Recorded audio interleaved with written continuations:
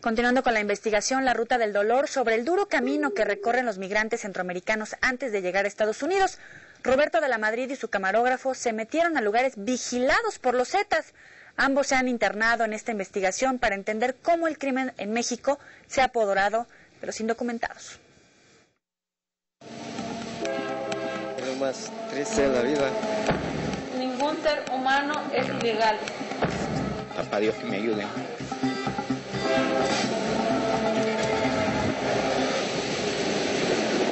Económicamente los países están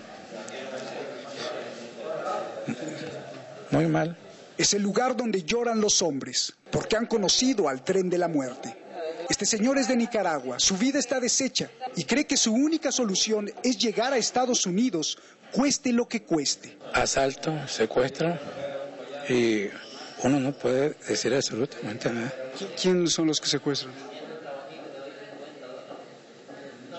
Y como él, todos, ahogados de dolor entre el sueño americano y la pesadilla mexicana. Yo lo que quiero llegar allá. Más Dios, no más.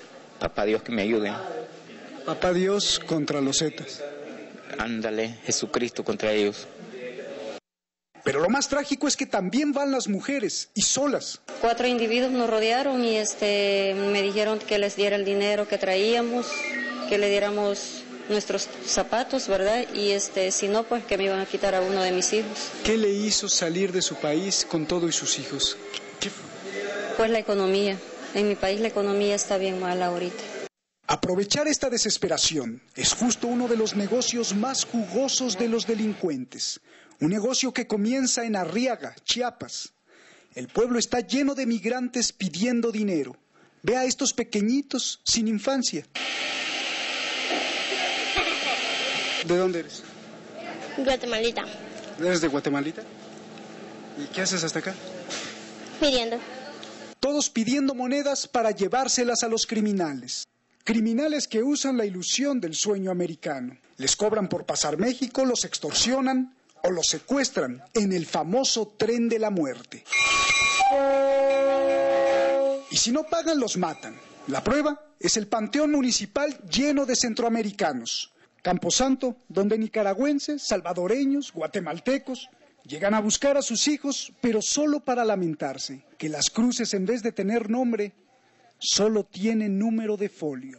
Todos los que, los que matan o los mata el tren, entonces todos aquí se vienen, los levanta el Ministerio Público y ya los vienen, los, los mandan ya a enterrarlos acá.